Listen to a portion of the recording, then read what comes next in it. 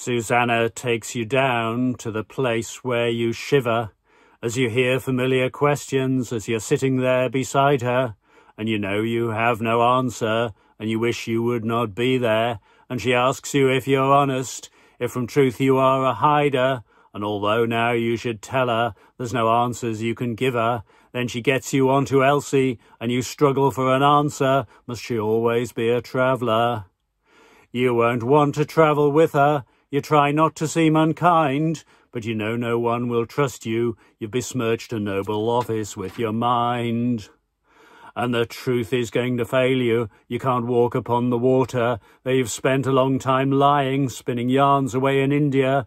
And when you thought for certain that the others still would back you, you said MPs can be liars then, and pleaded not to sack you. But you had long presided, with contracts for Tory greedy, not competed, just awarded to their cronies who couldn't help the needy.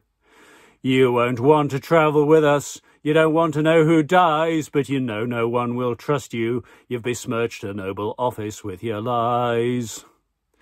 Now Sue Gray makes you face up to the issues you won't answer, when you gave your barefaced lies, when you're standing in the chamber, said you're angry to discover there were parties, what a chancer, as you went to many of them, you now struggle for disclaimer, and you battle on attempting to fulfill your crazy mission, to stay on and take over the Electoral Commission, while Sue Gray holds her report.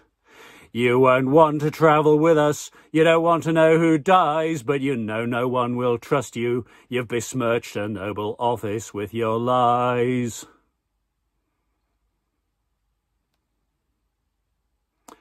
If you want more videos like this, please share this one and subscribe to the channel. Britannia Waives the Rules. I'm Mike Cashman.